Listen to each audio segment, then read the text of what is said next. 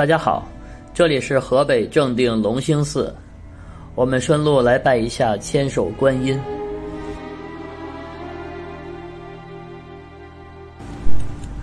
龙兴寺始建于隋开皇六年，也就是公元五百八十六年，最初叫龙藏寺，唐代改名龙兴寺，是正定现存最恢宏的一座寺院，也是中国十大名寺之一。龙兴寺的摩尼殿是主要建筑之一，始建于公元一零五二年，是我国现存为数不多的原装宋代官式建筑，结构与宋代营造法式相近，具有非常重要的史料价值。大殿面阔七间，进深七间，平面是十字布局，四面出抱厦，内部有两圈内柱撑起。柱子用料硕大，雄伟壮丽。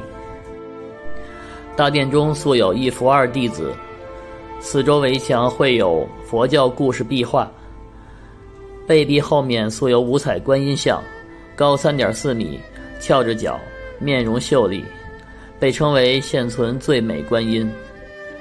这种姿势的翘脚观音是宋代以后才出现的，反映出本土化的审美。这尊观音塑像是明代嘉靖年间重做的，距今也有四百多年的历史了。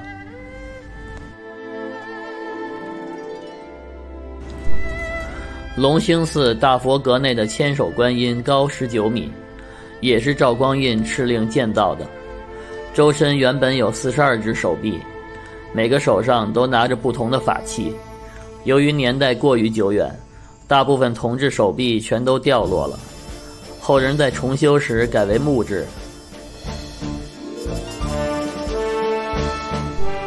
它的全身是由上下七部分分别浇筑，然后组装起来的。这反映出宋代高超的冶炼工艺。北宋时期，正定处于宋辽边境地带。宋辽和议签署后，这里百年无战事。